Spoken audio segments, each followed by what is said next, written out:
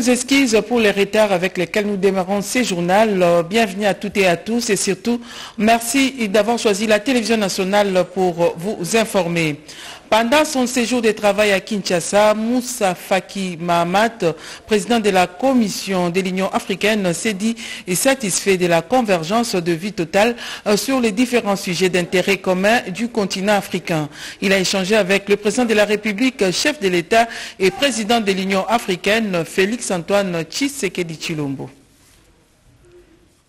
Le président de la République, Félix Antoine Tshisekedi Chilombo, président en exercice de l'Union africaine, a eu une séance de travail avec Moussa Faki Mahamat, président de la Commission de l'Union africaine, ce mardi 23 mars 2021 à la Cité de l'Union africaine. Les deux autres instances de l'Union africaine ont eu d'abord une réunion à huis clos de plus d'une demi-heure avant de l'élargir à la délégation de l'Union africaine, de la représentante permanente de l'Union africaine en République démocratique du Congo, Madame Hélène Natundiaï de Ilungangandu, ambassadeur de la RDC en Éthiopie et du panel d'accompagnement du chef de l'État à sa mandature à la tête de l'Union africaine. Au sortir de cette séance de travail, Moussa Faki s'est dit satisfait de leur convergence de vue totale sur les différents sujets d'intérêt commun du continent africain. Ce fut une occasion avec le président de faire un tour d'horizon de l'ensemble euh, des questions touchant le continent africain, qu'il s'agisse des questions de paix et de sécurité, qu'il s'agisse de la lutte contre la pandémie de la Covid-19, qu'il s'agisse des conséquences socio-économiques de cette pandémie. Euh, il y a une totale convergence de vues entre euh, le président de la République et moi-même. Euh, c'est une phase importante dans la vie de, notre continent et de notre organisation. Le président de, de l'Union est parfaitement conscient des enjeux et il a apporté tout son soutien à la commission que je dirige. L'Union africaine est dans une phase de réformes institutionnelles. Le nombre de membres de la commission a baissé de 10 à 8 et d'ici le mois de juin, il y aura deux autres commissaires qui seront élus pour compléter le nombre, a conclu Moussa Faki Mahamat. Le président de l'Assemblée nationale, Christophe Mbosso, a échangé avec euh, l'ambassadeur extraordinaire et plénipotentiaire de la Grande-Bretagne qui a réaffirmé son attachement en République démocratique du Congo dans les domaines parlementaires. Sylvie Mouembo, Jérémy Kiawete, Bernard Boudokanda ont signé ces reportages toute fin utile, la Grande-Bretagne est tout à fait disposée à accompagner l'Assemblée nationale dans tous les défis qu'elle compte relever sous la conduite du président Christophe Mosoko Diapwanga. C'est l'engagement que Mme Émilie Batman a tenu à signifier au speaker de la Chambre basse du Parlement. Nous, sommes un grand partenaire de la RDC, surtout dans euh, tout ce qui est le, renforcement des institutions et, la, démocratie. Donc notre partenariat avec euh, l'Assemblée nationale va continuer. Alors euh, j'espère qu'on peut nourrir euh, notre relation et, notre partenariat.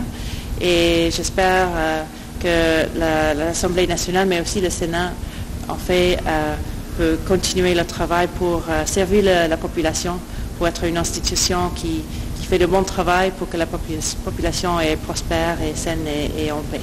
En dehors de la diplomatie classique, la Grande-Bretagne pense pouvoir renforcer la coopération bilatérale en mettant à contribution la diplomatie parlementaire.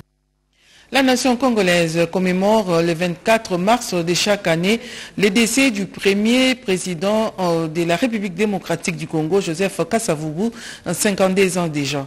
Freddy Kita, vice-ministre du Plan, parle de ce grand homme d'État. Il est au micro de Cédric Keninambo.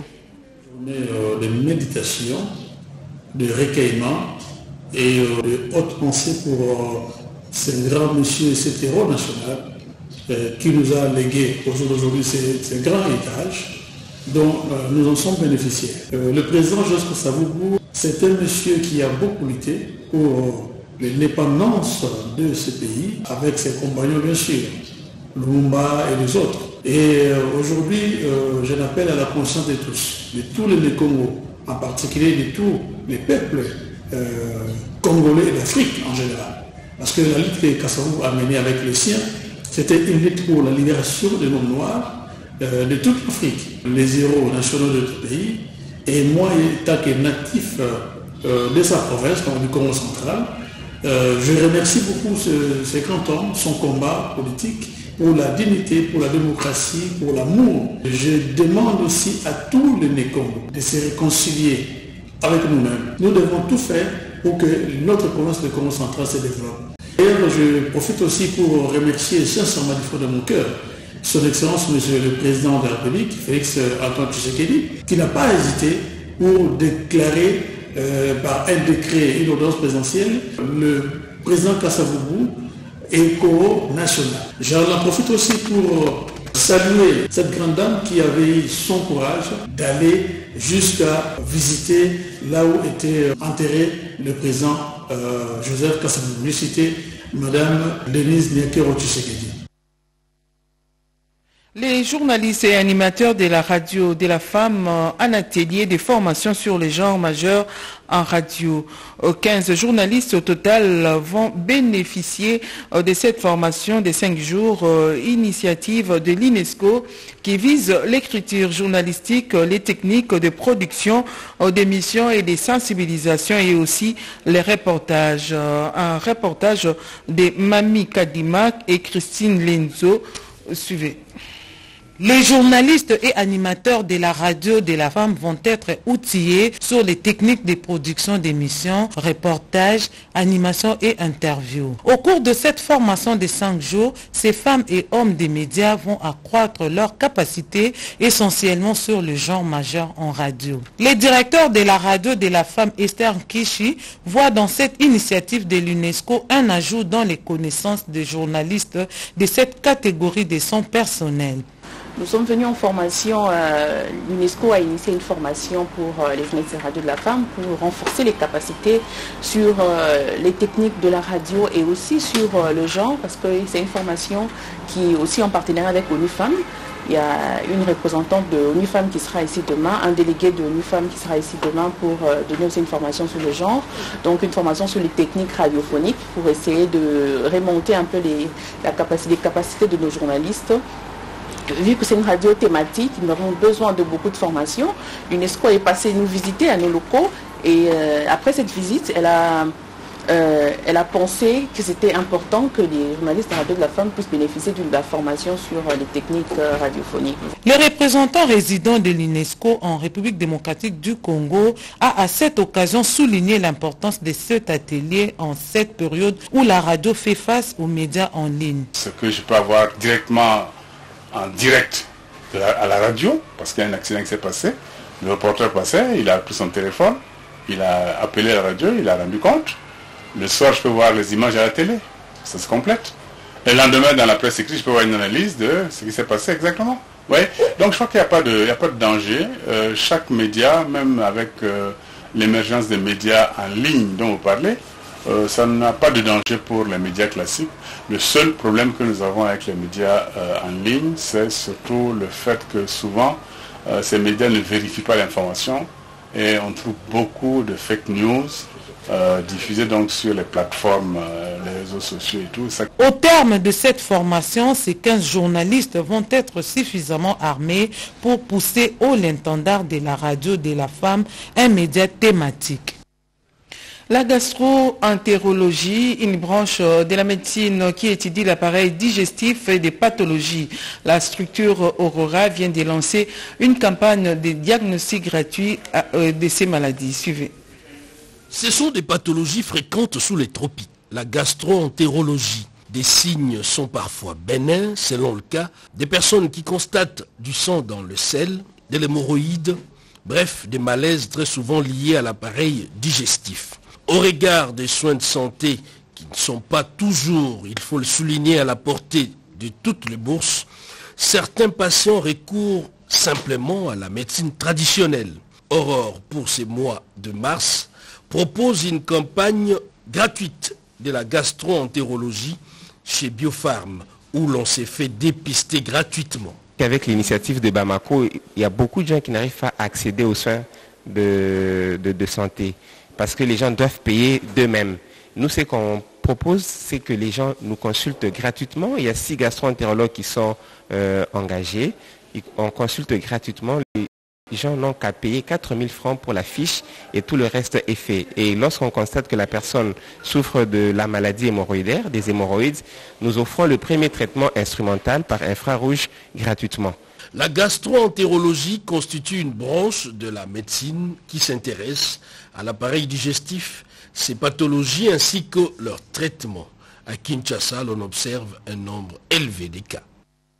Des kits sanitaires pour les hôpitaux de référence de Karawa et Bosobolo. Nous sommes dans la province du Nord-Ubangi. D'autres détails avec Pierre Saïdi. Le multiple des aspects liés à la bonne santé physique et mentale de toutes les forces vives socio-médicales disséminées dans les diverses zones de santé, hôpitaux de référence et centres médicaux éparpillés dans les quatre territoires et les deux villes que compte la province du Nord Ubangi en général et celle de la cinquantaine de secteurs, chefferies, groupements et villages des territoires de Businga et de Bosobolo en particulier, constituent l'un des axes phares du programme social d'un panel d'autorités politico-administratives et socio-médicales de cette partie de la République démocratique du Congo. L'appropriation de cette feuille de route sanitaire par le ministre provincial de la Santé du Nord Ubangi, les administrateurs des territoires de Bosobolo et de Businga, les autorités médicales provinciales, parmi lesquelles certains médecins chefs des divisions et des zones de santé, des médecins directeurs des hôpitaux et autres personnels médicaux, fut concrétisé par l'honorable sénateur Jean-Pierre Zagbalafio Angala. Ce dernier a effectué une série d'itinérances médicales, d'abord à l'hôpital général de référence de Karawa et enfin au centre de santé de Boudangabou, de Bozokola 1 et 2 et de Botetenza.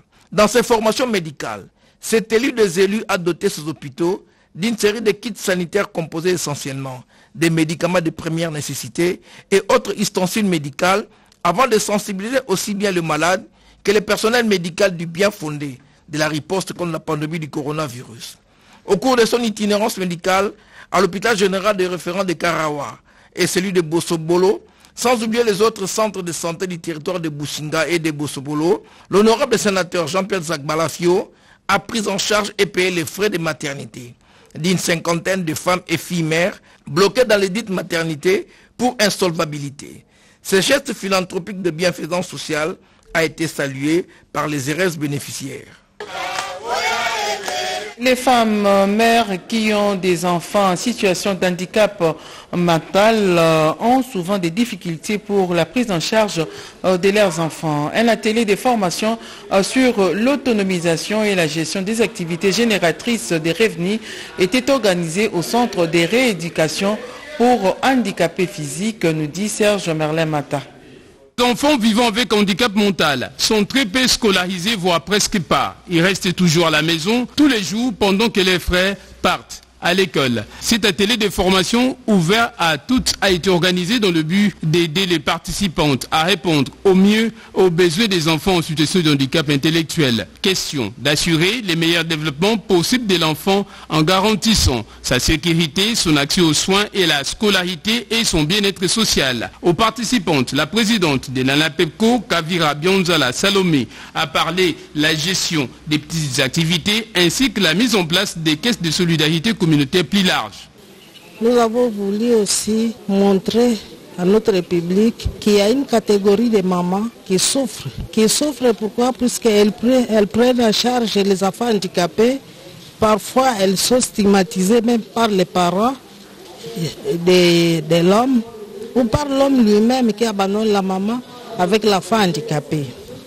Ici, nous avons été soutenus par l'effort des femmes congolaises pour autonomiser ces mamans, pour que les mamans arrivent à avoir quelque chose pour aider les enfants et faire des comptes, créer une caisse de solidarité qui peut nous aider, soit à aider à intervenir quand un enfant pose problème. Les intervenants ont à leur tour aborder la tolérance et l'acceptation de la différence, l'accompagnement, la protection, les droits à l'éducation ainsi que la réintégration sociale de l'enfant porté d'handicap lors de cette rencontre. Précisons-le que l'éducation est un droit pour tous les enfants. Les parents ont donc l'obligation d'envoyer tous les enfants à l'école, quel que soit leur état physique.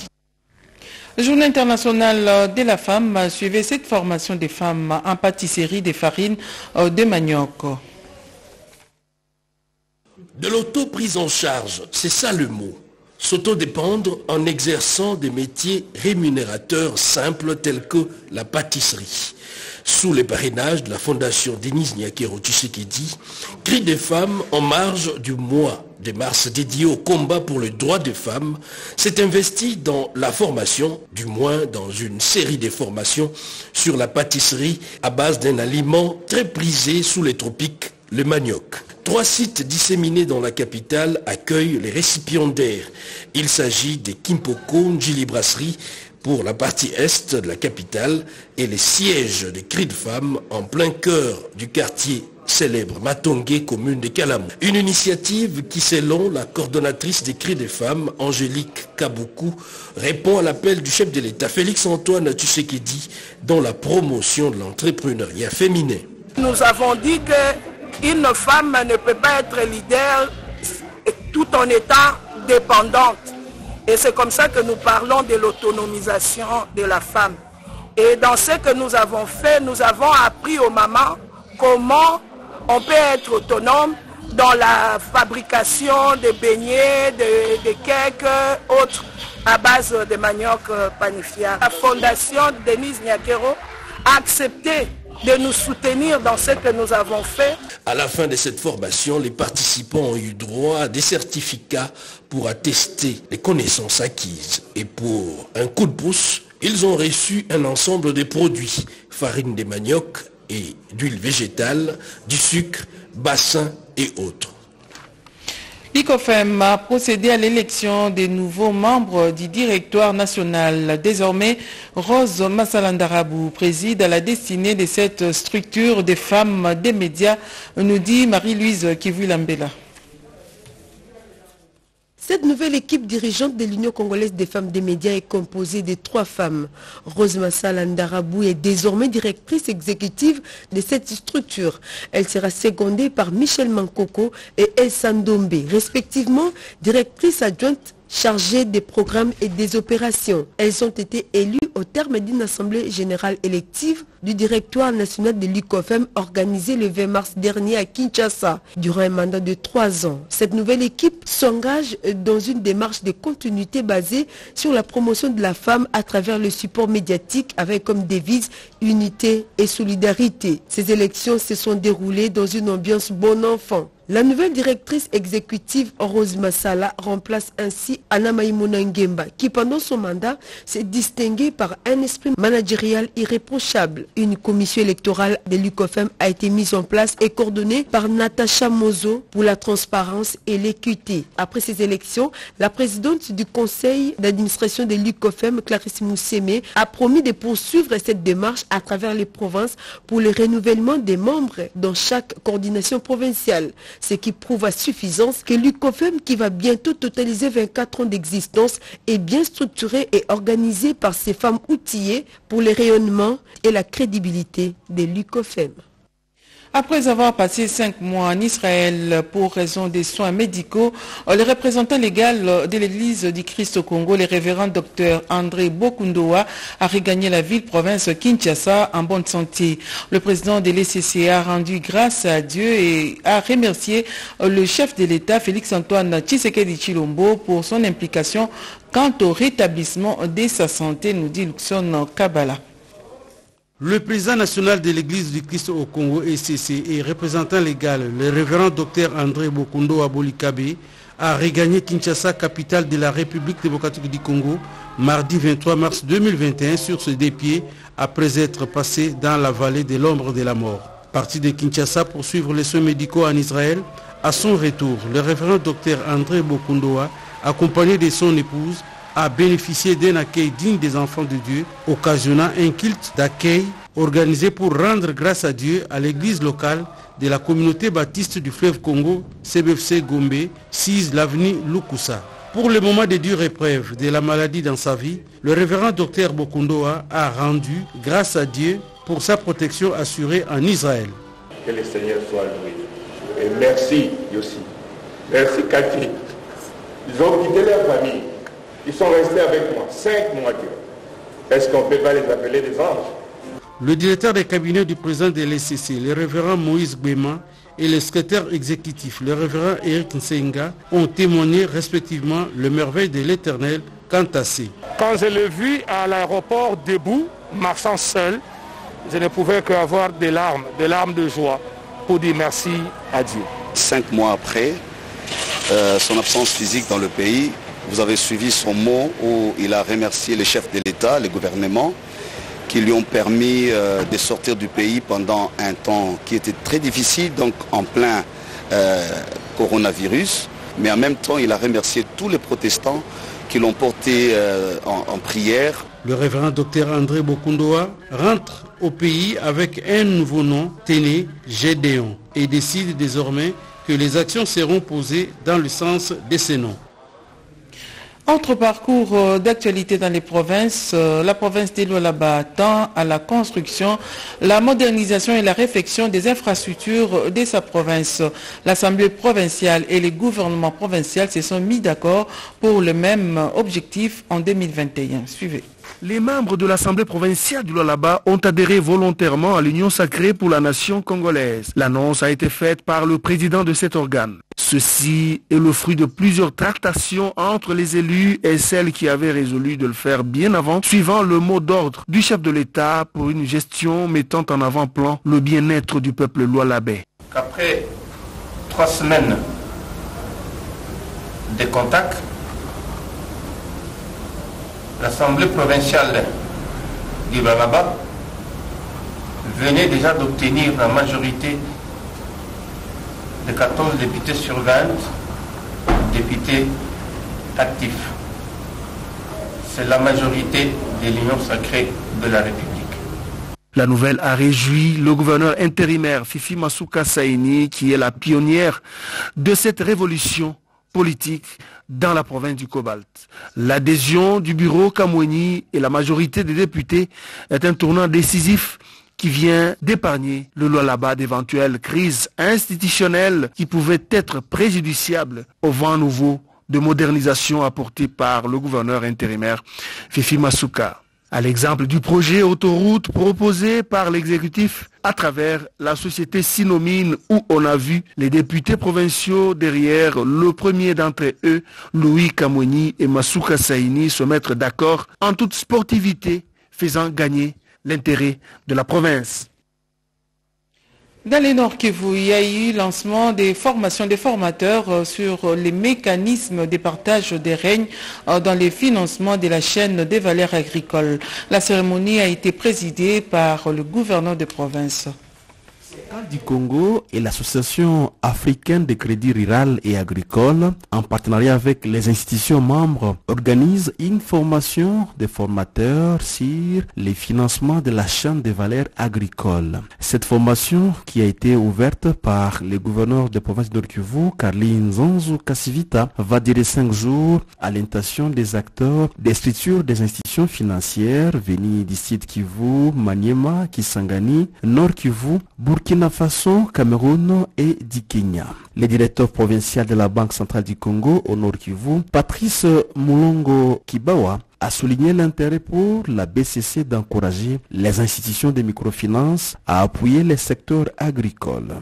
Le délégué du secrétaire général de l'Association africaine de crédit rural et agricole, Madame Carole Bakang, a informé que cette formation est la 16e édition dans le cadre de différents projets qui seront développés dans la perspective de redynamiser l'agriculture en République démocratique du Congo. Les représentants du directeur de la Banque centrale du Congo, son directeur de cabinet San Elongo, a parlé du contraste qui s'observe en RDC, un pays avec des potentiels agricoles énormes, avec une population qui reste exposée à la sous-alimentation, d'où les soucis de promouvoir la croissance durable et inclusive de l'agriculture. L'autorité provinciale a remercié la BCC et la FRACA pour le choix de la province du Nord Kivu pour la tenue de cette 16e édition. Cette session de formation des formateurs est facilitée par les experts internationaux et nationaux. Restons toujours dans les Nord Kivu. La ville de Goma a abrité une grande réunion euh, sur la validation du document de programmation relative à l'élaboration dans la politique foncière provinciale. Suivez.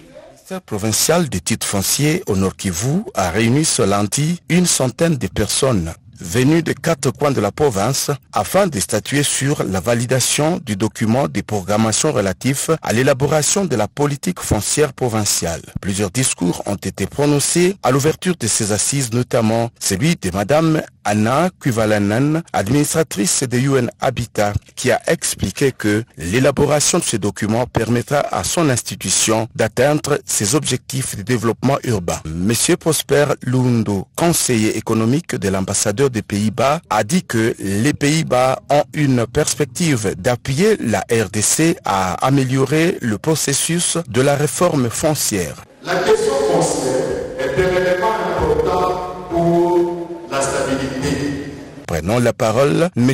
Mouindo Palia Rodriguez, ministre provincial du titre foncier et représentant du gouverneur de province, a circonscrit le cadre de séjour dans l'exercice collectif et participatif afin de définir un avenir radieux aux populations de cette région. Des panels riches ont suivi et clôturé cette activité avec la participation des délégations venues de la province du Sud Kivu, des anciens ministres provinciaux de ce domaine, des députés provinciaux des chefs d'entité et de techniciens du domaine foncier venus de l'intérieur de la province du Nord Kivu. Voilà, ainsi s'achève cette édition d'information de Cédric Keninambo réalisée par Ignace Tibangou et Nono Mansekou. Lucie Lavici-Senda et Emmanuela Commissaire ont concouru à sa rédaction. Alain Sodi, Ernest Bolikoko et Annick Yangumba étaient à la technique. Doris Mozotamboué sera de votre à 20h pour une autre session d'information. Merci infiniment de nous avoir suivis. Protégez-vous en observant les gestes barrières.